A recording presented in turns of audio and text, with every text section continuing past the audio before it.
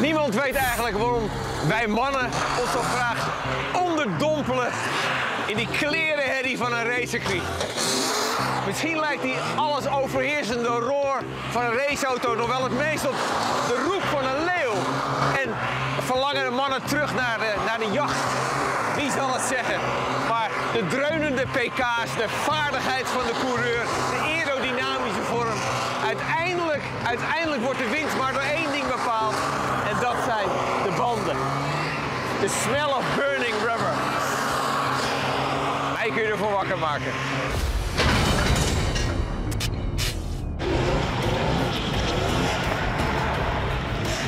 Terwijl ik hier mijn uiterste best doe om ontspannen over te komen, sta ik op het circuit om iets meer te weten te komen over de basis van elke raceauto: de banden. Christian Frankenhout is coureur van onder andere lange afstandsraces. Dan rijdt een team 24 uur lang en verbruikt zo'n 80 banden per race. Dus Christian weet van banden. Het gaat vandaag over banden. Hè? Hoe belangrijk zijn banden voor jou? Ja, banden is natuurlijk superbelangrijk. Dat is het enige contact tussen de auto en de racebaan zelf. Ja, dus wat is, wat is nou belangrijker dan banden? Izmit in Turkije is de thuisbasis voor een van de beroemdste bandenmerken van Italië.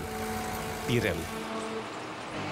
Ze leveren speciale hoogwaardige banden aan onder meer de Ferrari Challenge, de Formule 1 en de FIA GT.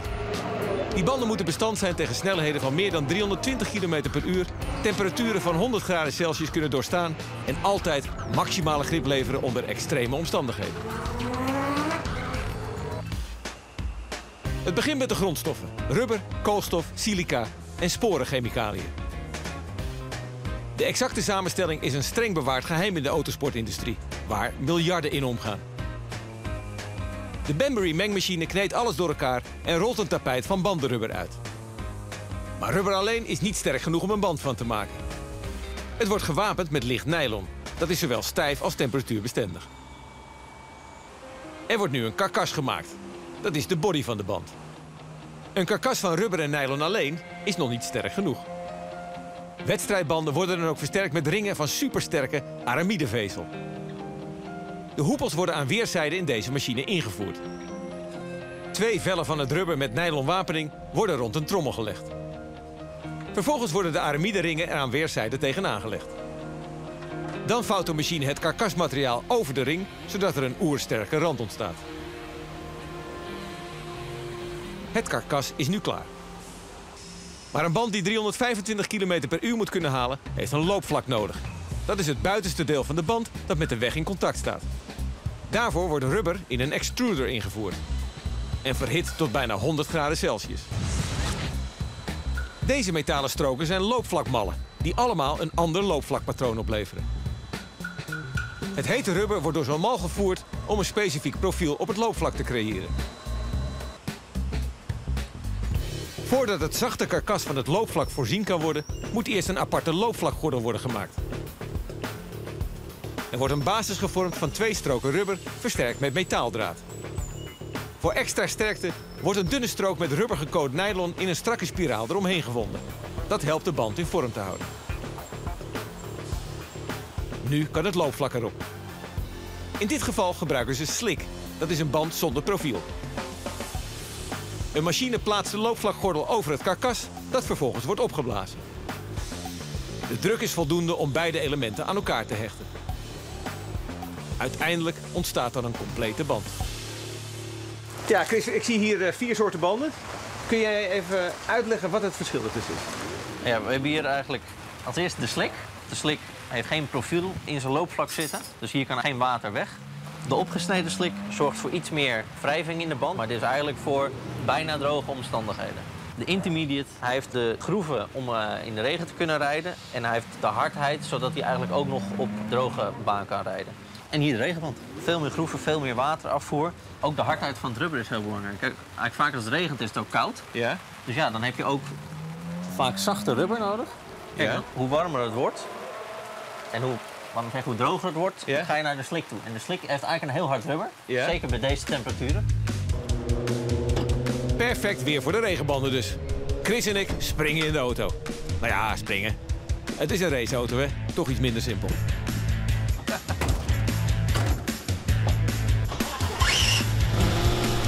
Het rubber van de regenbanden is zacht, waardoor het beter aan het asfalt kleeft en Chris alle controle houdt.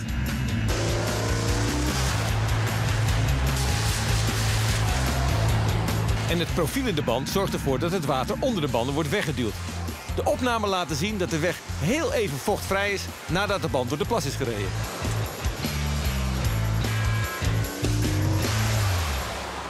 We vervangen alle regenbanden nu door slicks. Normaal gesproken gebruiken die dus alleen op een droge baan.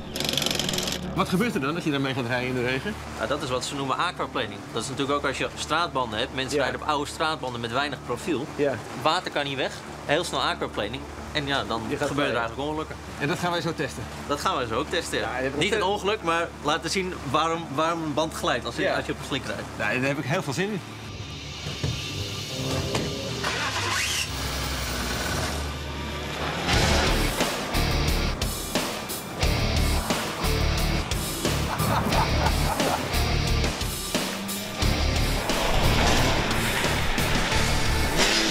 Effect is duidelijk. Het rubber van de slicks begint vanaf 80 graden pas goed grip te krijgen. Maar vandaag zal de temperatuur van de band rond de 30 graden blijven steken. Het is te koud en vooral ook veel te nat. Het water wordt niet afgevoerd en vormt een laagje tussen de weg en de auto. Ja, het verschil is tamelijk spectaculair. Want als je die, het verschil met die regenbanden is dat je, je hebt gewoon geen enkele tractie. En tractie is eh, voor de leek is eh, grip op de weg. Ik heb dat ook pas net van hem gehoord hoor. Je merkt ook dat op het moment dat hij die draai maakt en hij probeert weer eigenlijk weer terug te gaan, dat die, eh, de achterwielen hadden totaal geen tractie. Dus ja, je merkte dat je gewoon daar niet tegen in kwam. Als een band klaar is, moet hij nog wel worden verduurzaamd. In 20 reusachtige ovens worden ze verhit om de verschillende lagen permanent aan elkaar te hechten. Bij het verhittingsproces, de vulkanisatie, bindt het zwavel in het mengsel zich aan de rubbermoleculen en verhardt ze. Ruim 20 minuten later valt een robuuste raceband op de transportband. Maar voor hij het circuit op kan, moet hij nog wel langs de kwaliteitscontrole. Een röntgenapparaat scant de binnenkant om te kunnen garanderen dat elke superrace auto ook echt een superrace band krijgt. we hebben hier een raceband, een regenband en een, eh, en een gewone autoband. En, en, en, en wat is nou het belangrijkste verschil ertussen? Nou ja, kijk, voor race heb ik geen comfort nodig. Nee. Dus deze band, vooral de wang, is hard. Heel stug, ja. Deze kan je nu al makkelijk indrukken. En, en in de bochten maakt het ook groot verschil. Ja, natuurlijk. Kijk, de- deze band houdt veel meer de vorm. Dus houdt veel beter contact met het wegdek. Terwijl deze band, ja, zowel naar binnen als naar buiten, heel erg vervormt. Ja, dat contact met het wegdek komt dan niet eh, ten goede. Om dit te testen hebben we de voorste banden vervangen door gewone straatbanden.